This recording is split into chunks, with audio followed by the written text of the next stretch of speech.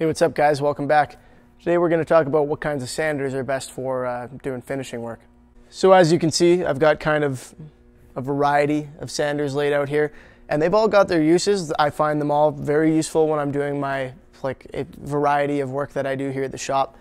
But there are some when it comes to sanding uh, for finishing work that kind of, you know, are cut above the rest, and some of them just plain aren't useful for that. So let's start from the ones that you maybe don't want to use for finishing work, and we'll work our way over to the ones that I use all the time for that. First up, belt sanders. Now, these are fantastic tools. Uh, people use them for flooring all the time. They're great for removing material quickly, mostly re- removing wood quickly, but also paint uh, in some circumstances. And you can get a nice flat finish with this. Uh, and by a flat finish, I mean a flat surface. But you don't want to be using this when it comes to finishing it's not going to give you a smooth look at the end. It's going to give you a very aggressively sanded look. These things are great for doing work quickly, but it's not the kind of thing that you're going to use even for finished sanding, let alone actually sanding a finish. You're not going to end up with a smooth surface here. You need to move on to a finer sander afterward. Next, I'm not going to lie, I don't know what this is called.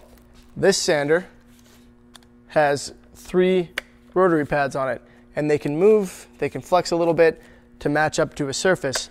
They spin aggressively though. So here's the thing, these are gonna these are gonna tear away at material pretty quickly too. It's it's interesting trying to shape things with these. You can get polishing pads for these for polishing metal and whatnot, but this again, because of the aggressiveness and size of these surfaces, not very good for finishing work. Sander definitely has its uses, but uh, you wouldn't catch me sanding a finish with this. You also wouldn't catch me finish sanding a piece before spraying or hand applying or brushing a finish using something like this. All right, next up, orbital sanders. Orbital sanders, this is going to get kind of confusing because I do use orbital sanders for finishing, but not this kind. This is for sanding wood. This thing spins, it doesn't move side to side, it simply spins. It's just a straight up orbital sander. It's not bad for finishing work. Again, I wouldn't use it for actually sanding a finish in preparation for polishing or anything like that. But for sanding wood, you can get a decent finish using, using one of these.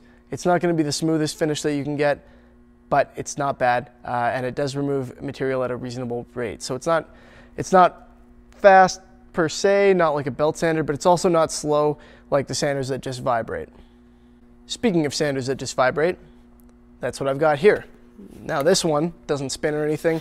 Really all that happens is the, the sandpaper, the bottom here, vibrates against the wood.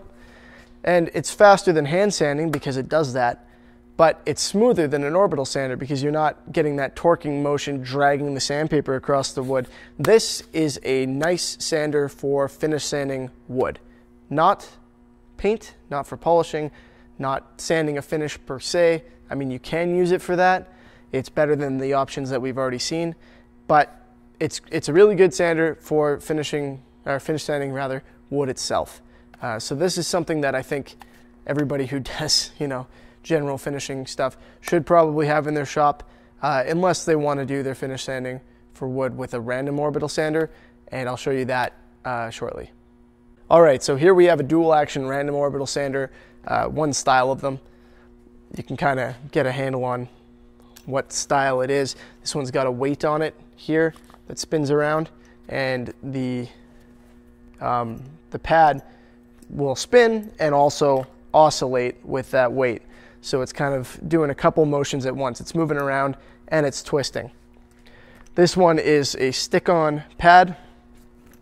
And this sander is not bad for finishing. It's, uh, it's a little bit aggressive, this style. It's not as easy to control as some. It's good for doing a, a smooth finish on like a door or something for a car or on a flat surface. Gets you a nice smooth flat surface. Uh, I wouldn't necessarily use it for you know polishing applications or stuff like that because it is a bit aggressive. Um, but it works well. Usually these types are used for like sanding metal, that kind of thing, sanding body filler. It's pretty good for that sort of stuff. Not my favorite for getting into curves either because it's a little unwieldy and it doesn't really flex. Here we have another random orbital sander, dual action.